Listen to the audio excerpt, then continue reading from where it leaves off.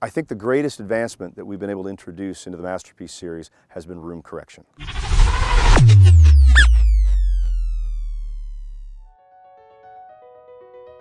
Historically, one of the challenges we faced with ESL is the fusion of our bass technology with our electrostatic technology.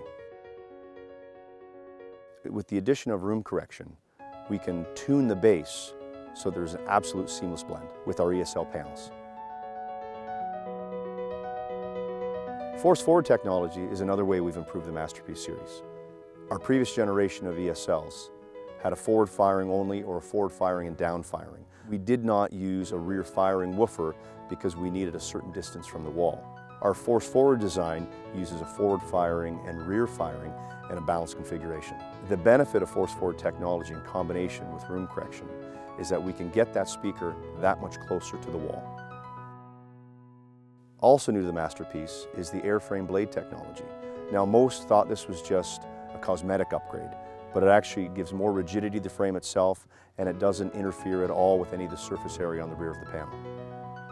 This rigidity in turn will improve the performance of the panel. With the Masterpiece series, we have better performance out of our panel, we have a better blend between the panel and the bass section of the speaker, and overall a better integration with the room.